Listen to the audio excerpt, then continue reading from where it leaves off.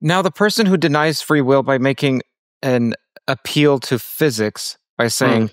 even in the example that was given about the prisoner who could Mm. accept his or her fate or Yeah. reject it, whatever precipitated that choice would have been something outside of them. It would have been physics. It would have been Hmm. not within their control. And so, either way, if something is not within your control Hmm. and then it's derived from that, then it's derived from something not within your control. You you don't have Yeah. control unless Yeah. control came from nowhere. But then the Hmm. question is, well, where? Show me that in the microscope. Yeah. So, would you make another argument similar to your cup argument, which was, as you mentioned, Robert Lawrence Kuhn, which I'll place a Hmm. link on screen, was interviewing you Yeah. on Closer to Yeah. Truth, saying, Yeah. I believe in the roundness of the cup at an intuitive level, but it, it can't be there because the photons are impinging and, and doing some sort of mental, gymna- cognitive, or neurological gymnastics or what have you. Yeah. And then you were saying, yeah, but these this photon plus the neurological gymnastics that depends on other instruments, which you consider to be just as real as the cup. So, so do you make a similar argument against those who are saying, look, free will can't exist because physics? Hmm. Are you saying something Yeah. similar where you're saying, no, no, Yeah, look, how are you going to make that appeal to physics without considering th- that physics to somehow be more real, but the physics Hmm. also depends on something which Hmm. was just as real as your free will Hmm. initially, Mhm. namely the instruments Um, and so forth. Yeah. Well, yeah, I'm I'm having I, I've for a long time I've been having a dispute with Nancy Cartwright and you know other philosopher, right? Um, the way she reads physics is that it really involves a lot of um, causal causal statements of a sort that you know in, in the traditional sense of causal statements, right? And uh, and I the way I read physics is that it does not. Um, the the models show you the models are models of what happens. There's not no such a thing as compelling. You know, we we talk about forces, but look, forces F equals ma. You know, a force is a, a, a, something that varies uh, with with uh, mass and acceleration, right? Um, that's all you see in the model. You see these equations that connect these different quantities together, and so um, I don't see causal claims in a in a model of physics. I don't see them there. Um, she uh, she said, uh, "What if you have a model of uh, me washing dishes?" I said, "Washing dishes is something is a causal activity, right? Because and I classify it that way because of your intention and your plans and, and your deliberations. Okay, um, Okay. but uh, when it comes to if uh, if there was a model in physics of this, they have they haven't done that, but suppose they did. All you would see is equations connecting quantities. And I said I have a good example of this. I, I found uh, several articles where they model a falling cat. Why does a cat that falls always lands on its feet? You know, you, even if you turn it upside down. Well, okay. It's so. How come this system is not rotationally invariant? How does it right? And then and they gave the equations for it, and I said, look at these equations. You see, we could describe it as the cat deliberately turns back upside down, back, back from it, yes. no, back Sure. right side up. We we talk about it in causal terms, but you look at the model that physics gives us, it's just an equation of motions. An equation of motion. That's all it is. You see? So I don't see causal claims in physics. I really don't. Okay, but what were you talking about with Nancy that was that hinged on whether causality was in physics? Why was Oh, that a relevant factor into anything? Oh well, you know, um, I think these are so. Um, the whole this whole subject of causation, I see as being really localized in um, intentional action. That all the terms come from intentional action, and that uh, uh, if you see something more in a physics model, you're projecting. You're really projecting the human ways of thinking about deliberation, planning, making choices, and so on. Um, and but she doesn't see it that way. She she um, I mean, of course, she has she can back it up by showing that scientists talk in causal terms a lot of the time. Uh-huh. But then uh, the, the the test case comes with um, these examples in uh, quantum physics where ca- certain causal models don't work. right? So she said, no, I can give a causal model of violation of the Bell inequalities. And so she she did that. She gave she gave uh, a model um, in which were clearly causal factors that were operative in violating Bell inequalities. Now, it's still a, a controversy between us. I mean, you know, uh, she and I have been arguing about this for some time. But the way I see it, uh, a causal reading of a physical model, a causal reading of a model in physics, is a projection. It is, um, it is not the way it has to be read at all. And so then, if people say, "Oh, your physical condition caused you to uh, uh, to what?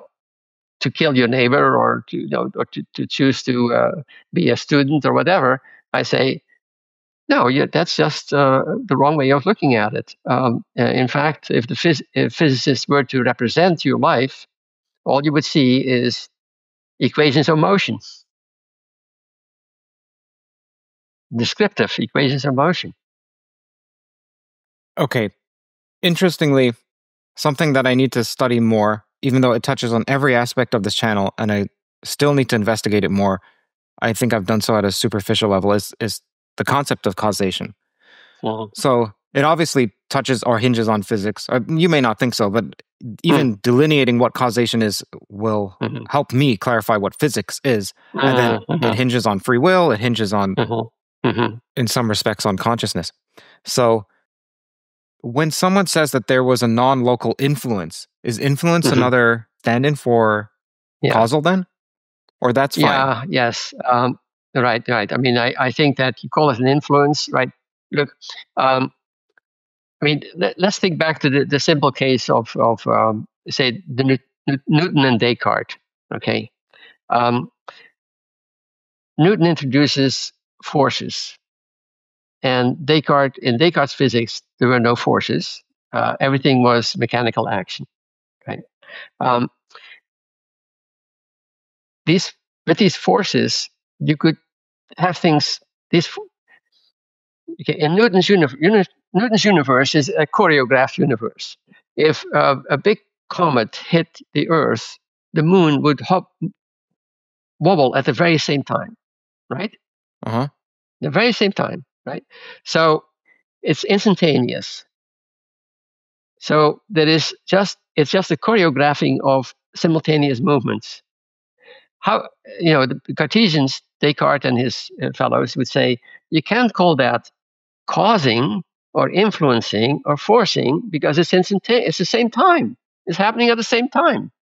It's just okay. it's choreographed, right? Okay. Um, so the uh, but you see that didn't make uh, for, for the for the Cartesians, this made Newton's theory a bad theory. Well, it's not a bad theory, right? Um, the thing is, though, that Newtonians were describing it in causal terms. They were using the term force in a, as, as something that causes, pushes, right, makes it happen, right? But that's not how we have to read it. We can just say, no, the Newtonian equations are satisfied by the system. That's it. Right? Um, so yeah, influence, force, you know, these are all you know causal terms that, um, mind you, they help the imagination, and I, I don't want to uh, diminish the practical value of how the imagination has to be helped when people are constructing theories, right? Um, no, of course. But I say that is all it does. It is, you know, it, it is, uh, in the end, it is not part of the theory. It is just part of what, how we make the theory. So you see these wooden planks behind me. A yeah. few days ago, they fell down and they broke mm-hmm. that light that's behind me. and I have to get a new light. So it's a new light. Okay. Okay. Now, my wife would say that I'm the cause of that because I didn't put the yeah. wood wood up there properly, and I would say uh-huh. that it's the wood and it, or it's the the command strips or or what have you. Yeah. yeah. But we would speak in terms of a causal account, and yeah. we're making an appeal not not to equations there, but we're mm, speaking to physics. because it's something falling down. It's like a block of wood and it breaks this almost like a billiard ball. And so, Yeah. okay. So, in that case, would you say that we're speaking imprecisely? We're speaking incorrectly? No. Or, no, no, or what? no, no, no. You are not speaking imprecisely. What you are doing is you're bringing a certain amount of physics into uh, the language of um, personal action, deliberation, planning, and so on. So and accountability. So you are saying, well, that's Okay. your fault, okay? Yeah, and that's sure. because she points to you know some interaction between you and and the wood in some past, in the past, maybe right, right. Um, so what we do, you know, I think causal discourse belongs in person language. So basically, it's just in person language, and um, then you can draw on physics, you know, as part of what you are using in your arguments in person language, which have to do with, oh, what was the goal? What was the value? What was the bad result? What was the good result? You know, and so on. it's going to be tricky for me to ask my question without using the word reality, which I know that we've we've talked Hmm. extensively about in the beginning that I shouldn't use this term. Yeah, that's okay. Yeah. Allow me to use the term. I think you'll know what I mean. I know you can, of course, correct what I mean with your version of it. Mhm. People who are reductionists, physical reductionists, say that Yeah. everything ultimately is just physics. Okay. Now you're saying that causation has no place in physics, Hmm. and yet we can still use the word causation at some level, at a personal level. Mhm. Yes, yes. You also believe that reality is Mhm. not just physics. So you believe counter to people who are reductionist Mhm. to physics. Yes, Okay. yes. Do you believe that reality here over here on the on the left hand side is causal, has causation to it? Because I know you're saying physics doesn't, but physics is either a separate part of reality or just some small subset of Mhm, reality. mhm, mhm. But does reality as such have causation in it? Well, yeah. Like what, what I mean to say is it's one thing to say we cannot model causation with physics. Yeah. Or it's Yeah. another thing to say we don't even know what we mean by causation. It's another thing to say causation Hmm. actually exists. Mm, mm. I can't quite put my finger on what it is, much like free will. We can say free will Mhm. exists. I can't quite put my Mhm. finger on it, but Mhm, it does exist. It is real. mhm. I want to know the claim that you're making. Okay. Um, look, I speak a language that has a lot more in it than just the language of physics. Right? Specifically, it has a lot of um, human action terms in it.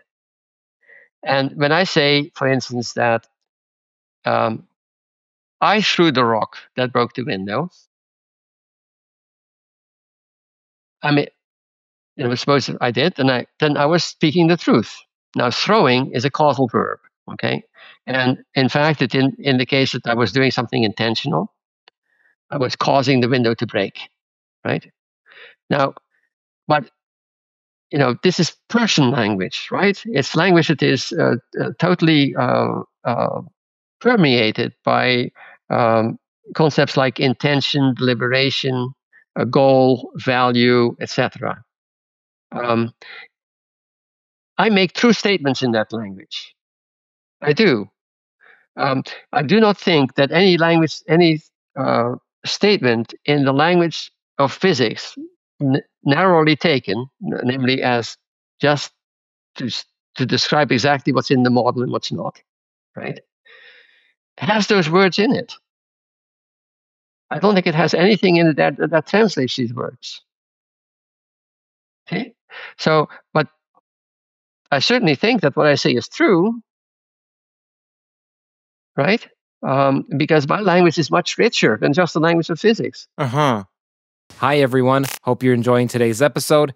If you're hungry for deeper dives into physics, AI, consciousness, philosophy, along with my personal reflections, you'll find it all on my Substack. Subscribers get first access to new episodes, new posts as well, behind the scenes insights, and the chance to be a part of a thriving community of like minded pilgrimers. By joining, you'll directly be supporting my work and helping keep these conversations at the cutting edge. So click the link on screen here, hit subscribe, and let's keep pushing the boundaries of knowledge together. Thank you and enjoy the show. Just so you know, if you're listening, it's C U R T J A I M U N G A L dot org, curtjaimungal.org.